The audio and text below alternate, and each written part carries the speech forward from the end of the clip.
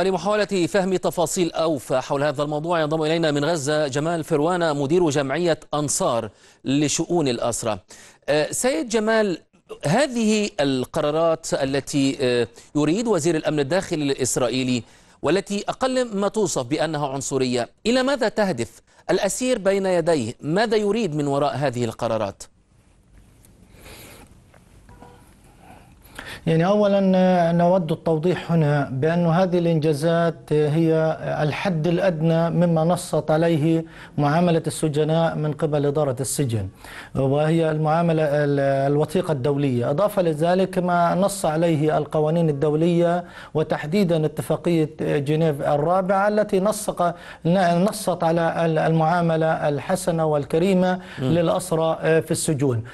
نحن نتحدث عن إنجازات تحققت أيضا ليست منة من الاحتلال بقدر ما أنها تضحيات قدمتها الحركة الأسيرة على مدار تاريخها واستطاعت أن تصل إلى ما وصلت إليه. بمعنى أننا نتحدث عن معركة معارك طويلة خاضتها الحركة الأسيرة حتى تصل إلى هذه الإنجازات التي نعدها هي إنجازات الحد الأدنى مما نصت عليه المواثيق الدولية. ماذا يريد الاحتلال هذا ما نود تفسيره بأنه الاحتلال الآن يستخدم ورقة الأسرى في الانتخابات في الدعاية الانتخابية. م. رأينا في الانتخابات السابقة للكنيسة الإسرائيلي أن الأحزاب تتنافس على على الأسرى على أو استغلال ورقة الأسرى في هذه في هذه الدعاية الانتخابية. وبعد ذلك أصبحت هذه الأحزاب التي استغلت الدعاية الانتخابية ضد الأسرى أصبحت هي من تشكل الحكومة صحيح. وهي من شكلت الحكومة الإسرائيلية وبدأت بسن القوانين م. سواء في لجنة التشريعات أو سواء نعم. في الكنيسة الإسرائيلية وقررت جملة من القوانين وقلنا بأن 2018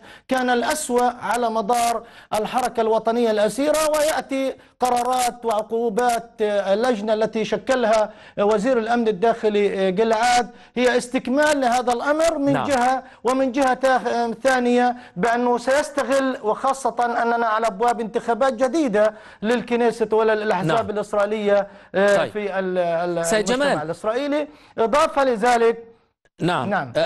تفضل أكمل فكرتك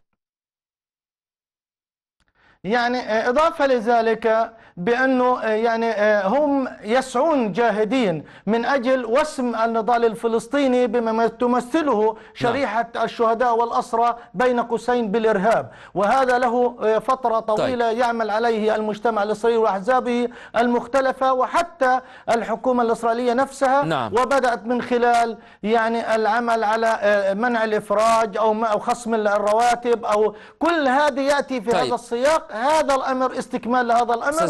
وكأنه يوحي للعالم جلدان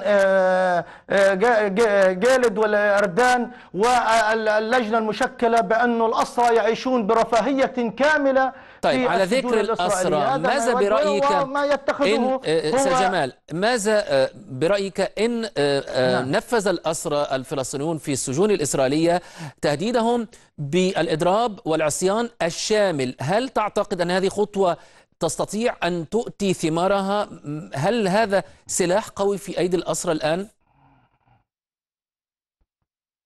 يعني اولا أود إخباركم بأنه قبل قليل وصلنا بيان من الاسرى في سجون الاحتلال موقع من كل التنظيمات من اسرى كل التنظيمات في سق في داخل السجون اسرى فتح واسرى حماس واسرى الجبهة الشعبية والديمقراطية وكل الفصائل المتواجدون وأكدوا في بيانهم على أربع نقاط أهم على الإطلاق بأنهم لن يسمحوا بتمرير هذه السياسة وهذه العقوبة وسيتخذون الإجراءات المناسبة للرد والخطوات المناسبة للرد على هذه الإجراءات وقالوا بأننا موحدون في هذه المعركة ولا أي خلاف في في داخل السجون حول كل الخطوات لكن الآن تجري مشاورة وقلت في لقاءات سابقة بأن نعم. هناك مشاورات لكن كانوا داخل الحركة قيادة الحركة الأسيرة في داخل السجون للرد على الانتهاكات وللرد على القوانين لكن ما كان يمنع ذلك هو نعم. خلافاتنا خارج السجون وأوضاعنا الصعبة التي كنا شكرا. نعيش فيها لكن يبدو بأن العقوبات التي سيفرضها والقرارات التي سيفرضها